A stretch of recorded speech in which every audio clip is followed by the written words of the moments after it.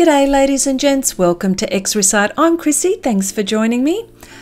I've been talking about this video for a while and finally got around to it. Uh, this is not a sponsored video, and so getting that out of the way. This is one of the art supply stores that always sucks me in, and I find it hard to leave without a purchase. Um, this store is Soft Pastels Australia, which has one of the biggest range of soft pastels in Australia. Uh, they also stock a few other art supplies, so I guess you can call it a boutique art store. Okay, let's go window shopping and I'll show you some of the art goodies that they have in their shop. Okay, uh, these are the uh, Bruynzeel pastel pencils, and I would say that these are one of my favourites. I mean, oh gosh, one of I'm going to say one of my favorites. So, but this is just a wonderful pastel pencil. So, if you're thinking about purchasing those, I think that they're a fantastic uh, pencil to to play around with and to use. Okay, so now we're going to the Conté, the Conté pastel pencils. They're okay. I don't mind them. I think that they've got their place, but you see, this is probably the way I use the pastel pencils, but again, it is um, a very good artist quality pastel pencil, and you'll see me use them from time to time as well. So, okay. And here we go. Yep, the Carbothello uh, Stabilo uh, pastel pencils. Again, um, I love those so much, and I'll always be, and I do use those. So yes, loved them a lot. And so here we've got some uh, soft pastels. Ah, yes, the Girault pastels, soft pastels. I've I've got a few of those. Uh, I know that I've got a few friends who use these and love them a lot, uh, but they're lovely to use. And here's just a bit of a close up as to, yeah, very nice, beautiful colours, beautiful colours and that's how they're packaged. So you'll find them in a box like that. Um, now we come to ah yes blue earth pastels. They are so soft so so soft that they do crumble in your hands but they're just beautiful very rich colors. Um, i believe that they're an american uh, brand of uh, soft pastels. Yes trying to decide which one should I touch. Oh yes, and you should see like the you know they just leave pigment on my fingers. Oh, what have we got here? Schmink, uh, Schmincke uh, soft pastels. I have got uh, quite a lot of those. They are just gorgeous. Love using. Look at all those beautiful colours. They're just gorgeous. Yes. And just pulling one out to see. Yep, there you go. And it's really good because you can see uh, all the information on uh, on that on the wrapping there. Um, German, just fantastic quality. What have we got here? There's the the packaging. Ah, yes, these are Holbein. Holbein. Now, they're um, I would be using those for, you know, more detailed areas. They're a bit of a on the harder side, still a soft pastel, but more on the harder side. Uh, they're Japanese. I have got quite a few of those. They remind me of the, the new pastels from uh, Prismacolor. And here we got yeah, here we've got the Sennelier. Now they have got, I believe, 525 different colours. I think they're one of the biggest range of soft pastels. I mean, look at all that. That's just amazing. Again, artist quality.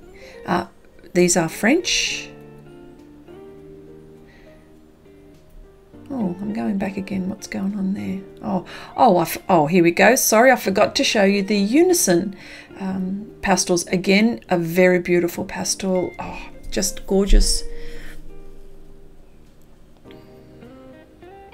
They got wonderful colours. But yeah. it's very hard to decide which one would be my favourite. I just think it depends on the artist and how they work. But I think if you were getting any one of these, you would not be sorry at all. It's just the way that you work that you would work. Each artist works differently.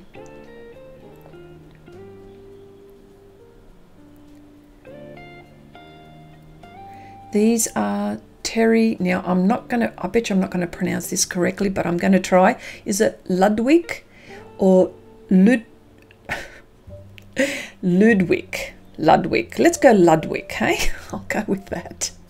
Um, a US uh, pastel, very, very nice. I don't have these ones. There you go. I opened that package up so you could see what they look like, and that's just one of the sets.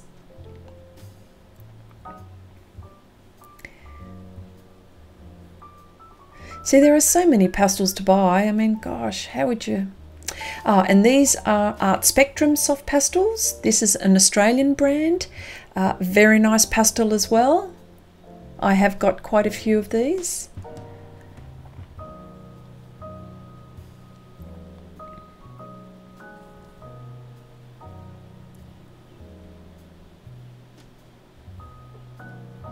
have got a lovely range there. This is their packaging and this is their ultra soft. I have got a few of these. Um, very, very nice as well. Don't they look all nice there, all nice and neat in their little in their little section, but here we go. Yeah.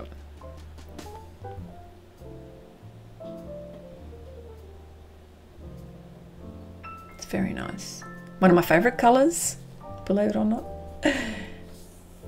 And what have we got here? I think these are Rembrandt. Yes, they are Rembrandt.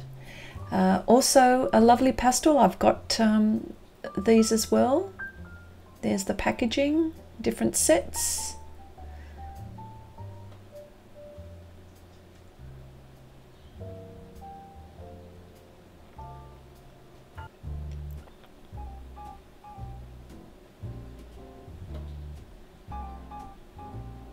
And here we go, we've got uh, pan pastels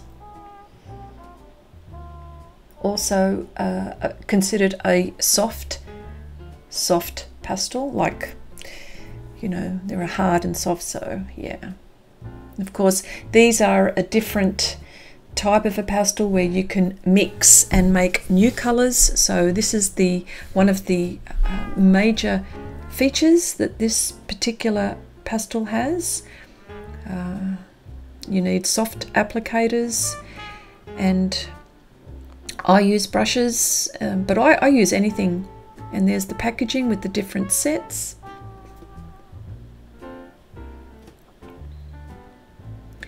And of course now we jump to the, the boutique part of it where there are different inks. So, and these ones are, yes, Sennelier inks. Look at them all. Aren't they lovely? You can just look at them. You can just sit there and look at them all day.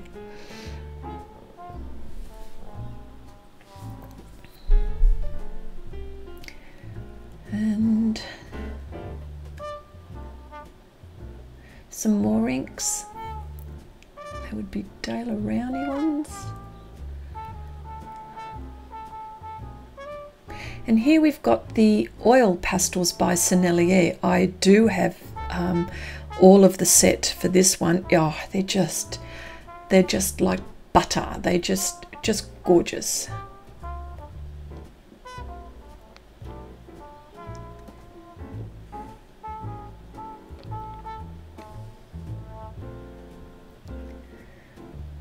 Apologies for the jaggy, jaggedy filming, but uh, yeah, trying to do this all one-handed.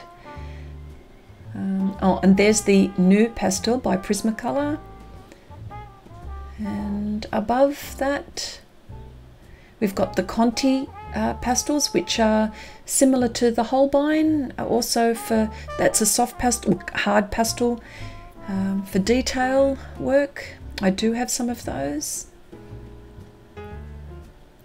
There's the NuPastels. Oh, and here we've got um, some oils by, yeah, Langridge. Um, these are oils.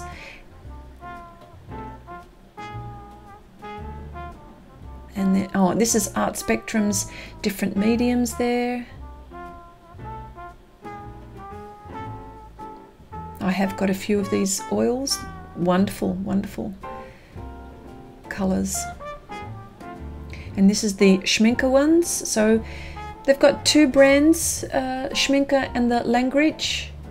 Um, and of course Schmincke, I mean, they make oils, acrylics, soft pastels, watercolours, uh, such a huge range of art supplies.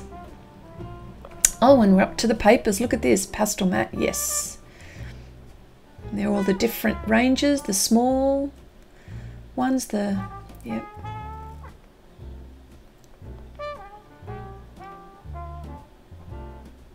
And they're all the different pads and the colours that they have.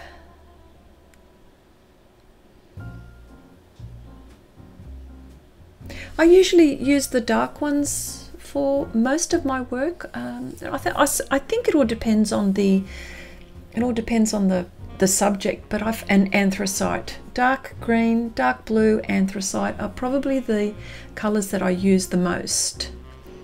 I've got the white ones, so I could use um, for coloured pencil. And here we've got Colourfix.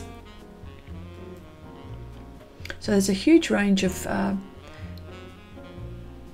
pastel papers. Here we go. And oh, yes, the Hahnemuhle, or Hannah, I hope I'm saying these correctly, the Sennelier pads. There, Canson Mi-Teintes touch, there you go. There's the Canson, the pastel card. Down there, oh, there it is, yep.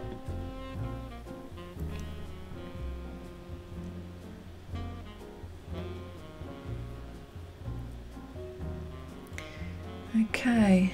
Oh, the velour. Yes. I'm not fussed. I mean, it's nice. It's a nice paper. I suppose I have to change my techniques when using that. Back again, making sure that you've seen it all.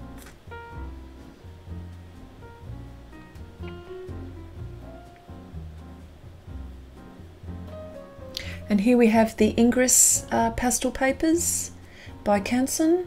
Oh, there we go. Canson Mi-Teintes neutral tones. Some drawing papers or sketching papers.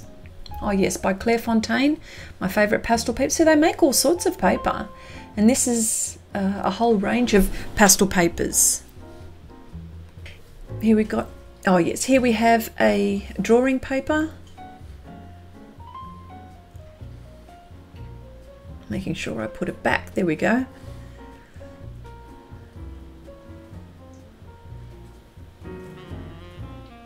There are so many papers that this company makes, so it all depends what kind of art you like to produce. So um, now the price tags that you see, these are Australian dollars. So in your country, it would be different. Um, Again, all of these that you're looking at, they're uh, drawing papers by uh, Clairefontaine.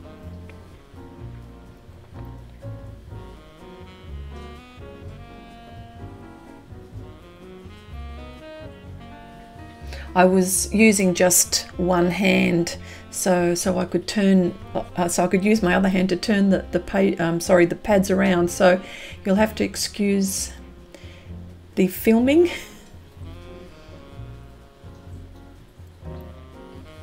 Oh, and here we've got some more pastel uh, paper, the UArt paper.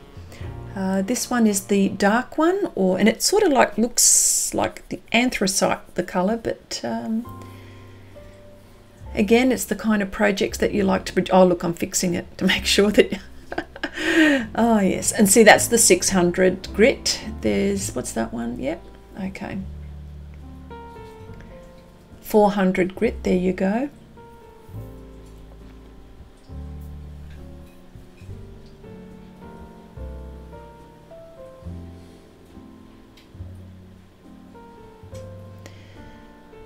Uh, oh yes, this is the sand colour. What grit is that? Let me see. Oh, look, I'm fixing it.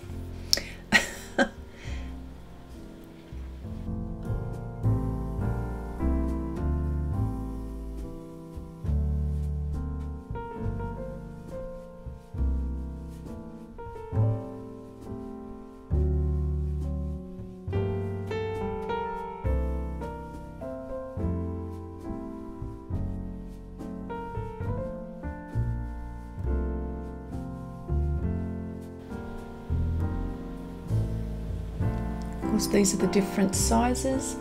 What's that one? 500 grit. Which would be a much coarser uh, paper. The greater the number, the finer the tooth, the smaller the number, the, the um, more coarse it is. So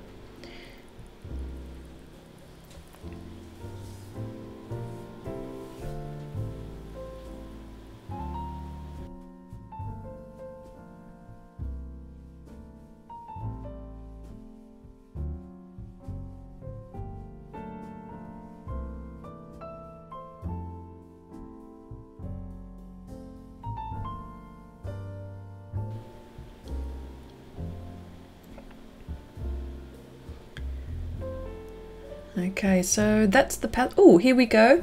This is the, uh, okay, uh, the acrylics for uh, Schmincke.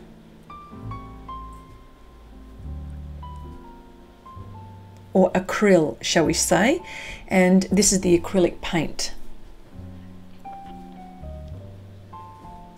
Again, very highly pigmented and Don't they look lovely just all with all those colours? And here we have the airbrushing uh, inks.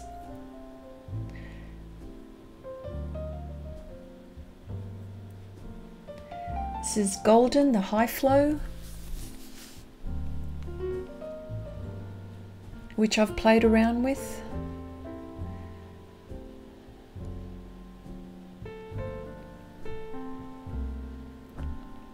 The, the, the fabulous part about these particular acrylics here and with the other brands is that they give you all the information on the packaging, which is wonderful.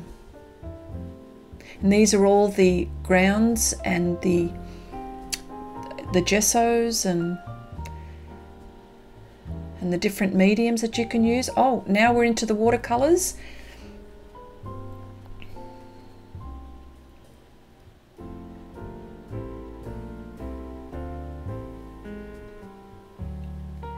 The Schmincke watercolors.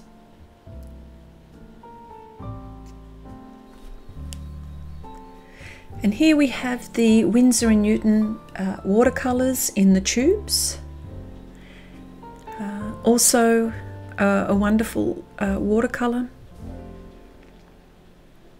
Here is Holbein, which I've got a few of those as well uh, in the tubes. Very, very nice. They're from Japan rich colours they are. And Daniel Smith. And like I said, you'll see price tags on these. Uh, of course, these are Australian dollars, so they would be, of course, different uh, value in your country. So,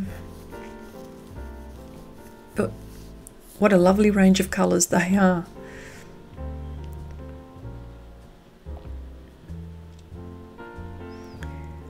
Okay, and this is the, the pans by Sennelier.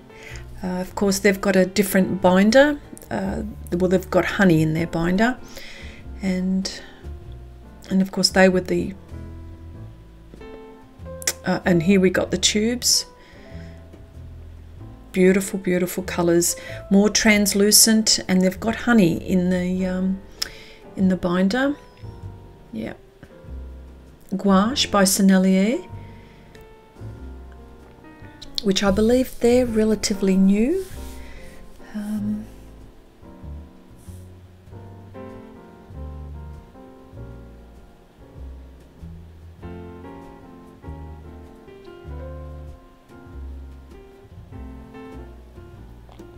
And here we have QoR, which is by Golden, a US uh, watercolor.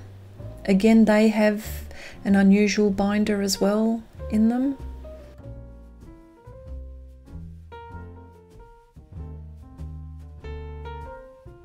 These lovely colours. How can you go into this shop and not come out with anything? And of course, here we have the papers by, uh, these are the watercolour papers by Clairefontaine. Now, you would have seen me sometimes uh, during my live streams. I would have, if I've gone shopping, I show you what I've purchased. Uh, each of those different colours represents a different type of a surface. Uh, rough, uh, cold press, there's rough cold press. Um, and there's one where I use, which I've used for, uh, sorry, coloured pencil. I think we might be coming up to, this is the one here. Yes, that the purple one there. I, only, I can only remember them by the colours wonderful for coloured pencil.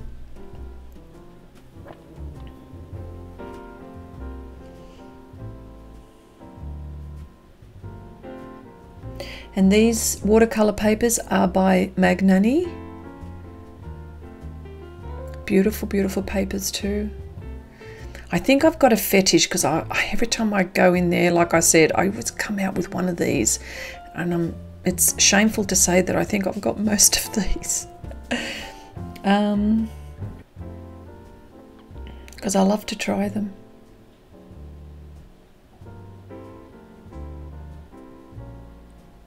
Some people buy shoes, I buy art supplies.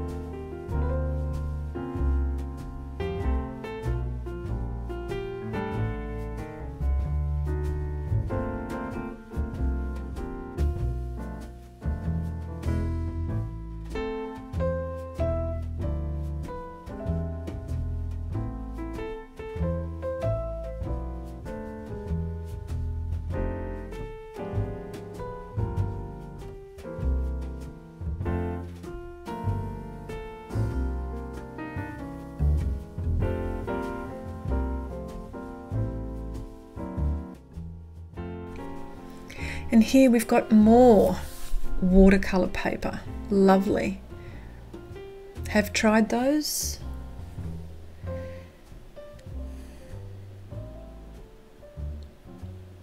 These particular uh, watercolor papers, those ones there, are, I believe student quality. Oh, here we have Holbein uh, watercolor paper.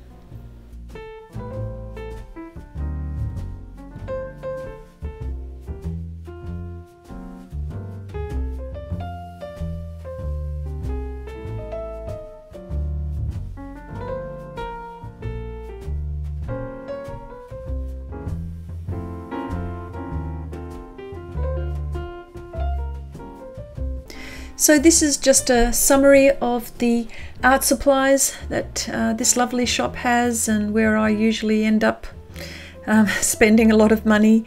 But um, if you like this video, please give it a thumbs up and hopefully this has been a little bit helpful. Um, thank you all and bye for now.